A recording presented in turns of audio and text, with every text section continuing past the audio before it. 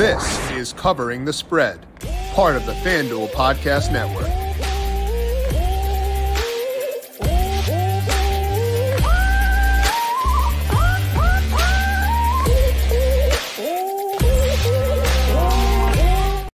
Another doubleheader for Monday Night Football for this weekend. We got the Bucs taking on the Eagles and the Bengals hosting the Los Angeles Rams, and plenty to talk about in both those games. We're going to dissect each game, break down traditional markets, player props, and much more by talking to Ryan Williams. This is this is covering the spread right here on the FanDuel Podcast Network and on FanDuel Research. My name is Jim Sannes. I am a managing editor of digital media for FanDuel Research, joined here as I am each month Monday by Ryan Williams. Check him out on Twitter at Ryan Alexander underscore W. Ryan, another double header coming up for tonight. How you doing today?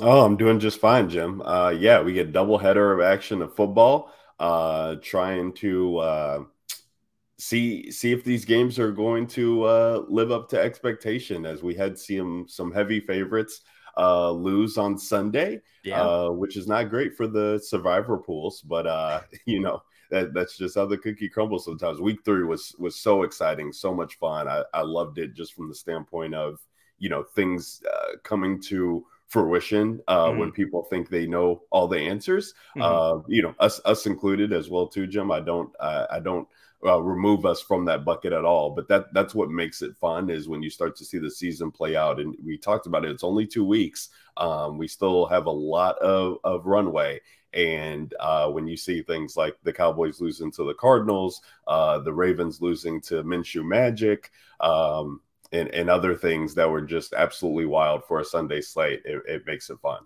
Yeah, I made my first mistake of the year, Ryan, because my model did show value on the Cardinals money line, and I took only the spread, did not yep. take the money line as well. And usually what I'll do is I'll like, you know, ladder it where it's like, okay, if they cover, I profit. Then if they win, it's it's even bigger, you know, bigger output. I just went straight spread. I was like 12 and a half is a lot at home. I guess whatever, I'll do this. But I feel really gross about it. Like I felt guilty betting that. Yeah. And I didn't do it. So um I deserve to be put in timeout for a solid five minutes. Um, five minutes I think is appropriate. But um, yeah, first mistake uh, officially made where I missed out on what could have been a nice. They were plus five twenty on Tuesday. Um, they yeah, kind of shit. They, I think they got to like plus five seventy at one point. The Cowboys are minus eight hundred at some point during the week. So missed opportunity to be sure. Yeah, those are always fun things to have actions uh, action on, especially when you're already, you know, kind of going one way against the spread. Even if you mm-hmm. feel like it's it's not going to come to fruition, just to take that shot um, yeah. when the Bucks are giving you, you know, higher than five to one, you know, on something happening, especially with the Cardinals being at home. Yeah. And then we got the Trevon Diggs news, and not to right. say that Trevon Diggs is worth 13 points by any means, but you know, this Cardinals team had been showing us that they had at least been playing with life. Yeah. And, you know, if things break their way as they were able to do on Sunday, you know, a lot can happen with that. So, uh, yeah, that's, uh, that, that's tough. The, the Cowboys are, are, are looking, looking in the, themselves in the mirror this week to try and right the ship for week four.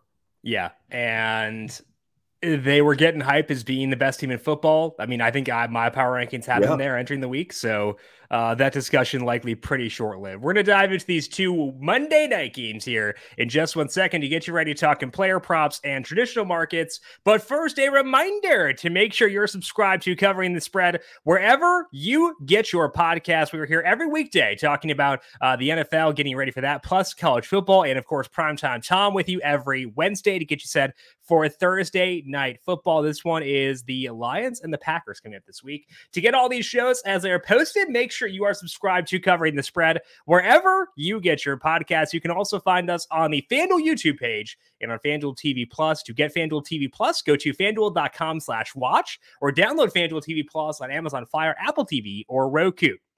Snap into action this NFL season with FanDuel, America's number one sportsbook. Right now, new customers get $200 in bonus bets guaranteed when you place a $5 bet. That's $200 in bonus bets, win or lose. If you've been thinking about joining FanDuel, there's no better time to get in on the action. The app is so easy to use. There is a wide range of betting options, including spreads, player props, totals, and more. So visit fanduel.com and kick off the NFL season. FanDuel, official partner of the NFL, must be 21 plus and present in select states. FanDuel is offering online sports wagering in Kansas under an agreement with Kansas Star Casino LLC.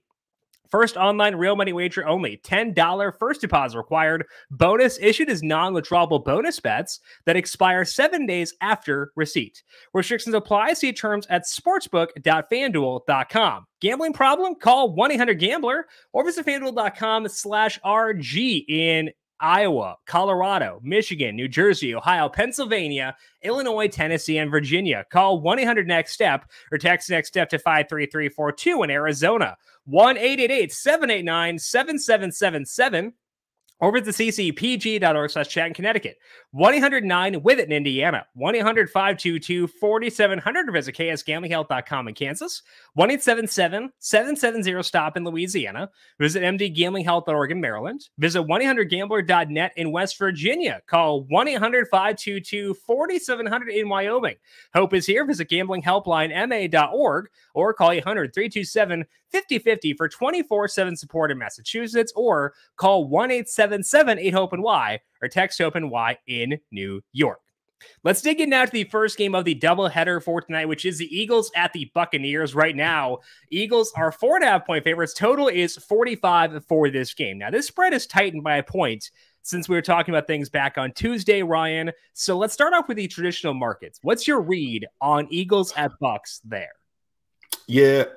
so the traditional market, uh, you know, where the spread is coming in. Let's just talk about that. For first off, with the Eagles four and a half point favorites here, I get it traveling to Tampa, and you know, talk about a team that's that's been hyped. And I was here last week, Jim, talking about you know this Tampa Bay team.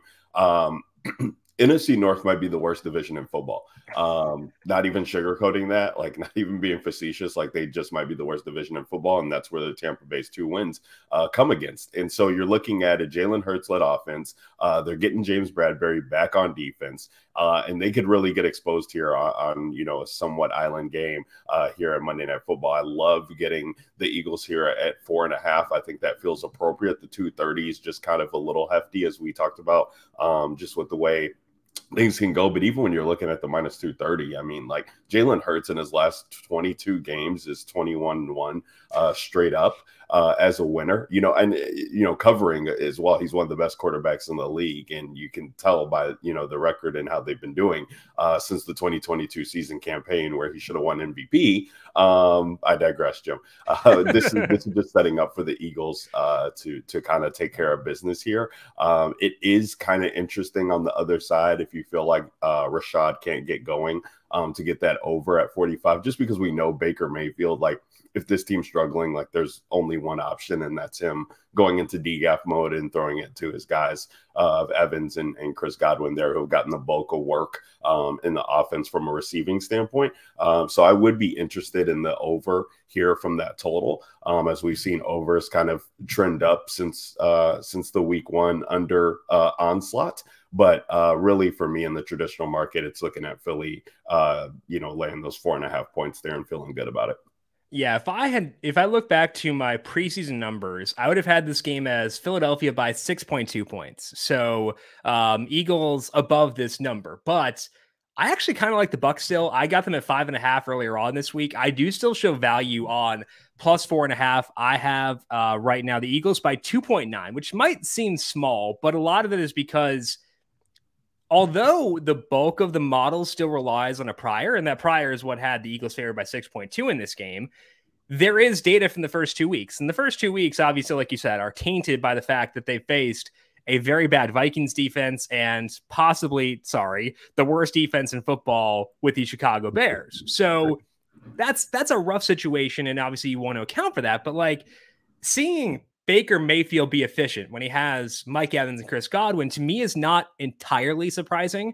So I'm going to buy into it, and the model at least factors it in a little bit. Um, it's not a, a, huge mm, portion of it just yet, but it does show value in the Bucs as a result. Now, can we expect Baker Mayfield to maintain efficiency over a full season? We should probably assume no. I think. I think that'd be the the, the fair assumption, but it's not as if this comes totally out of nowhere. Like he has been efficient at some point in his career. Now, additionally, you're removed from that shoulder injury. So I understand your side of it, Ryan, where it's like, you know, ah, it's only it's only four and a half, stuff like that. But I think I might be might be buying a tiny, tiny, tiny bit in the Baker Magic. Do I expect them to win tonight? No. Do I still have the Eagles favored? Yes, but I I'm at least color me intrigued, Ryan, about the Baker Mayfield experience in Tampa Bay. Oh, for the for the gym. I mean, this is one that would for for the Tampa Bay Buccaneers, uh, you know, as we're they're, they're, looking to separate themselves in their own division there in the NFC South. So, uh, yeah, I can't I can't blame you for wanting to get some action there uh, on Baker. And these, you know, these these are the type of games maybe that we see Baker come out in and get a little magic of his own going. So, uh, but yeah, I just love the Eagles here. Love that the defense is getting a little bit more healthy, um, and love to be able to to take advantage of that. So let's talk about the Bucs player props here. Starting on that side, you mentioned Rachaad White. Uh, pretty good output last week for him, and we've all seen Mike Evans and Chris Godwin play pretty well so far. So when you look at the Bucs props, Ryan, where are you seeing value there at FanDuel Sportsbook? Yeah, well, if I think you know the Eagles are going to win this game and in somewhat in handily fashion, I got to look at the receiving props uh, for some of these guys. And with James Bradberry coming back, I am interested in Chris Godwin, um, who you know is kind of building that rapport there. His over at 54 and a half, uh, coming in at minus 113 is interesting. The Mike Evans prop is just interesting too, just because that feels so low for Mike Evans at 56 and a half. You know, he's easily even if he's having a rough day, you know, he can get a deep shot of 25 five or plus from from Baker and, and kind of make make some headway on that. He's actually gone over uh, this number in both games this season thus far. Uh, but those those are the two things uh, that I'm leaning on. I think uh, from you know another interesting point as, as we talk about island games, uh, if we go to anytime touchdown score props,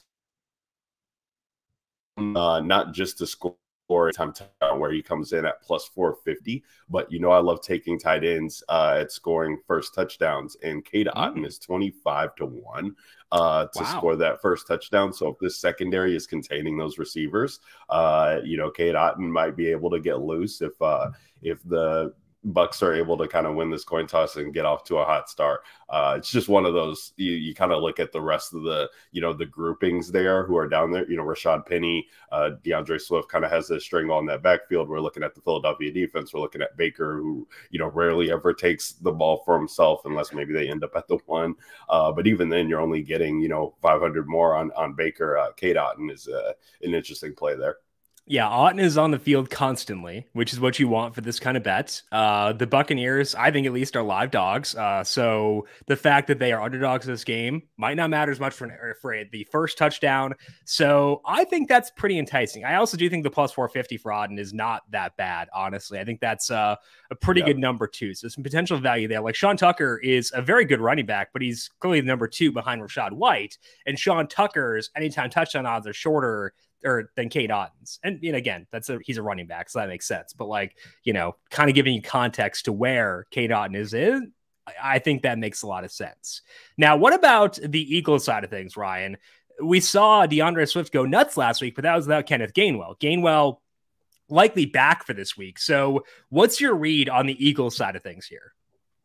Yeah, I think for the Eagles side, it it is kind of kind of tough, even with a concentrated offense, because you know you kind of loved what you saw from D'Andre Swift getting going, but this Tampa Bay defense, albeit it's probably not the same of you know two years ago or years past, but they still you know are not the easiest to to run on, and and the numbers are still showing that. So you're looking at the wide receivers who are both explosive, you know, and it's just a matter of like how do how do these guys get going and who who's going to be that player that kind of takes it takes it away and you know I kind of lean AJ Brown just because mm-hmm. we have not seen the AJ Brown game uh, as we would uh, think of it as of yet you know 67 and a half is where he comes in for his over over total, I do really like that. But when we're looking at the player longest reception as well, too, I think there's some interesting merit in DeVonta Smith. Like DeVonta Smith always just seems to be able to be that guy to go deep. Uh, when you're thinking about, you know, 25 yards or more down the field is really where we're thinking about that deep shot. And he's only coming in at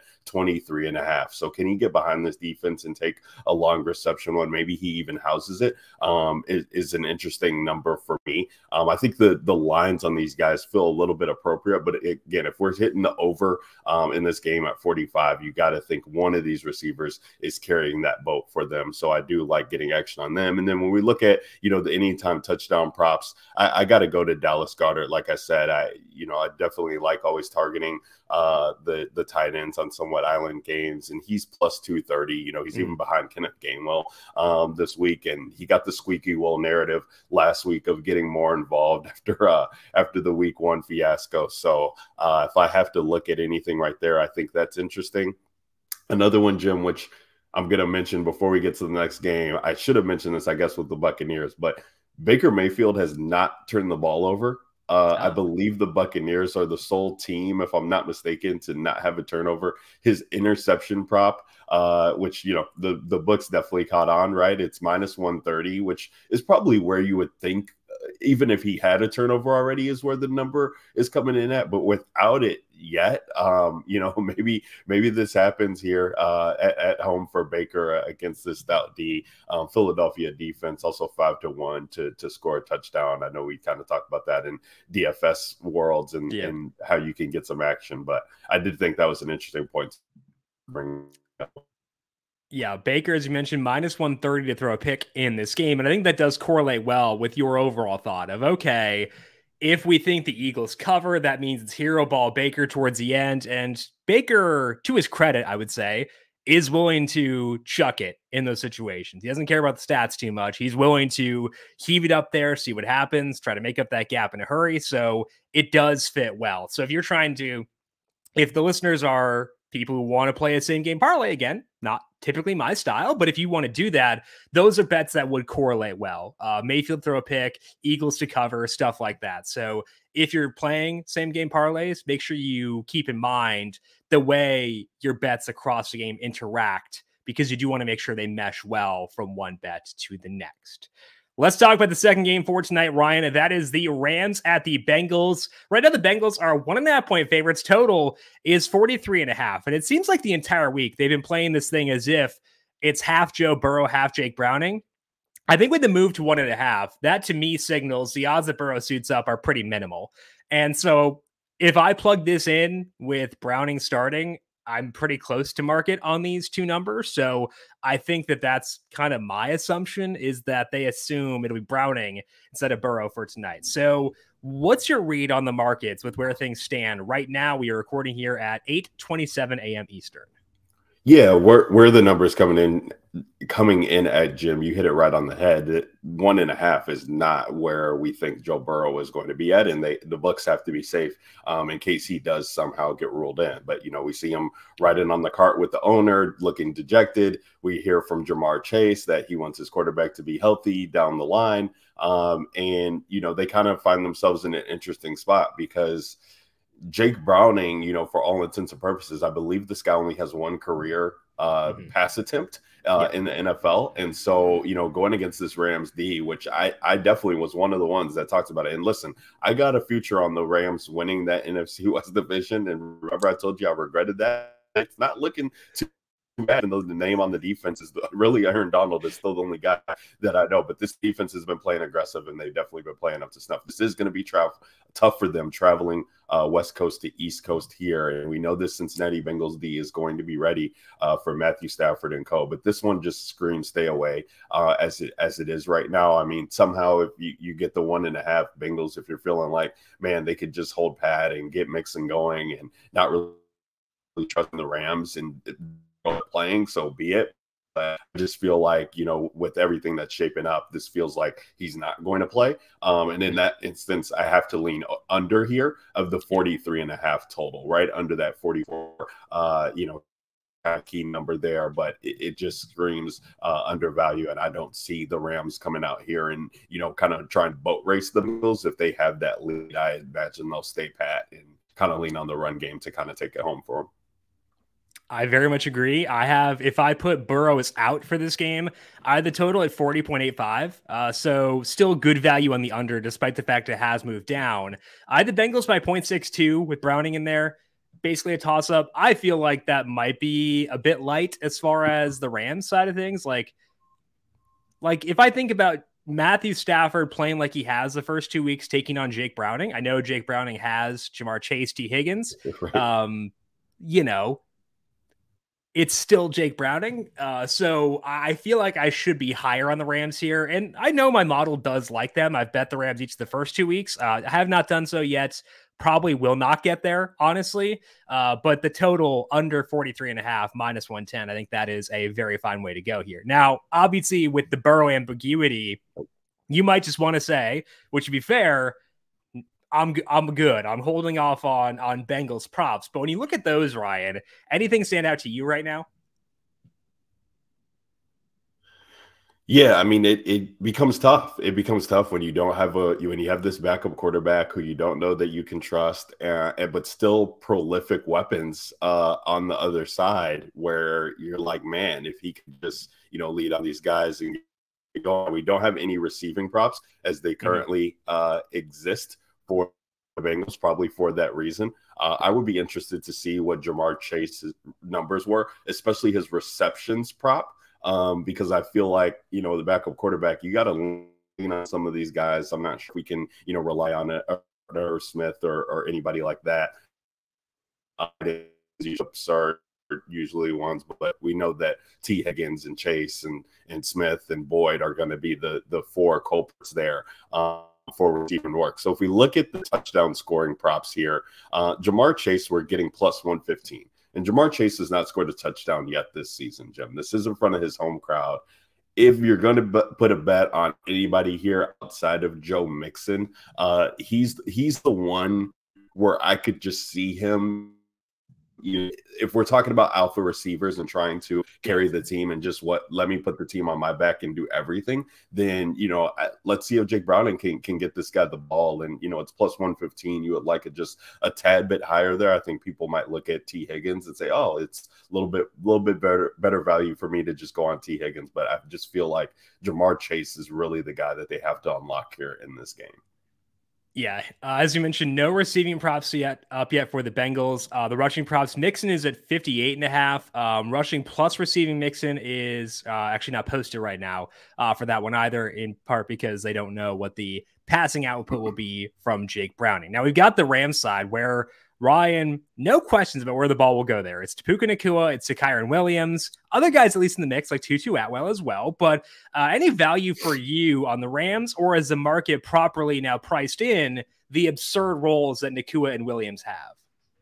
It's it's properly priced in. Uh, you know, I, I mean, Ky- Kyren at pl- you know plus money on him to score a touchdown. Like usually, we kind of see you know backs with the workload that that he's kind of getting and in Mixon's role. I get it. The Cincinnati defense, you know, has pretty stout and does is pretty you know uh, they hold form when they when teams get into the red zone as well too but Kyren has been able to make uh, way. I believe he have like five touchdowns on the season and the touchdown. He's getting game. absurd uh, red zone usage. Yeah, it, it's just so like Ronnie Rivers or Zach Evans behind him uh, to be able to to get things going. Um, so it that's funny. I was, I was, like Zach Evans, is that right? Chris Evans is on the other side. Yes, that's correct. Okay, so two Evans uh, in backfield tonight. But uh, but yeah, so I think th- these are the two guys that we have to look at now. When we look at receiver props here from Puka at 66 and a half, that feels reasonable and, and mm-hmm. right. And I mean, how do we not just slam on that number with the production that he's been doing? But one of the interesting uh, numbers that I had found, and I think I'm going to have to go to, let me pull it up here, Jim. I apologize. If we look at game specials, mm-hmm. uh, I did see there is a number that exists out there, and I think it's in game specials where Puka to get uh, 50 receiving yards or more in each half is at okay. plus 700. I want to say. Uh, if we if we scroll up a little bit there, Jim, I, I definitely will find exactly uh, where the market is. Or sorry, plus. 40 receiving yards. 40 yeah. receiving yards. plus 40 receiving yards in each half, plus 700. He's done that in, in, each game. And obviously, you know, you think about it, like he has to get close to that number to be able to put up 100 yards in both games receiving. But this is this is an area here where I mean Matthew Stafford is just he's just known for peppering the guys yeah. who are his guy. And right now, that is Puka playing into that Cooper Kupp role. We saw the same thing when he was at Detroit and, you know, able to revive Marvin Jones' career. And we know what he did with Calvin Johnson. And, like, you know, I'm willing to say that Puka is a Hall of Fame wide receiver yet, but he is the guy in this offense everything is pretty much running to who's not Kyren Williams. So uh, that's an interesting one there where you can, you know, take advantage of, you know, kind of if you take his over number at 66 and a half, you know, you're getting minus one 15 or 18, whatever that number is. If he hits on that and receiving yards come in both of these halves, uh, like we expect, you're getting seven to one odds on that. And I just yeah. like that's a great way to kind of take advantage of, of a number there that not uh, that we might feel good enough enough to bet on, but not really returning dividends there. But this one gives us the chance to to reap home.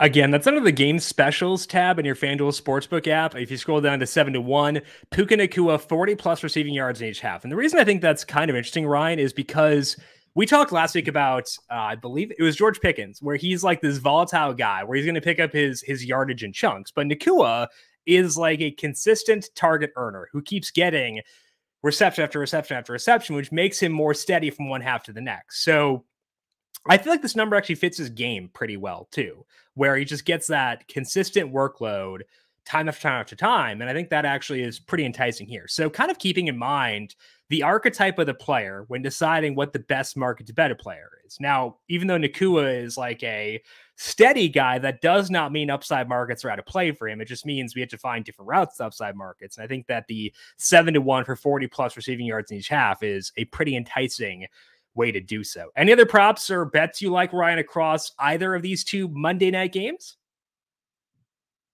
No. If we do get Jake Brown, need to jump on this before, but I, I, will be interested in seeing if this front seven can can get to a guy like Jake Browning. There, we know that uh, some type of woes and why Joe Burrow's on the injury report it is that uh, defenses have been able to get after him in, in, some way, shape, or form fashion. And so, looking at you know the Rams to get some sacks uh, against Jake Browning here, it would be something I'm looking at similar in the game, uh, especially for the Rams to get a five plus sacks is plus 600 right right before that Puka Nacua uh, plus 700 bet there. So that was another one that I thought was just interesting to get in on now. Even if even if Burrow somehow decides to end up playing, like we know he's not fully healthy, right. um, and you know just to be able to take advantage of that is an interesting one. Yeah, five plus sacks, six to one at FanDuel Sportsbook uh, for the Rams in this game. That's all we got here for this Monday night doubleheader. Uh, Ryan, want to thank you as always for joining us here today. Break down both of these games. You'll be back with us once again tomorrow for our Tuesday show. Our Tuesday show this year, talking some futures, talking stock up, stock down. Then I'll go through my thoughts on the opening lines for week number four. Ryan, I appreciate you as always. Good luck tonight. Have fun. We'll talk to you once again tomorrow morning. Sounds good, Jim. Thanks so much. Good luck, everybody.